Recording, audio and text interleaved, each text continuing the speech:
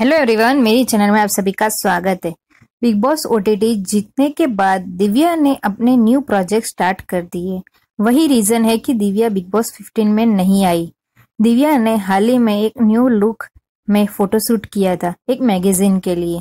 दिव्या ने इसमें light green colour का ड्रेस पहना है एंड डार्क पर्पल कलर की लिपस्टिक की है।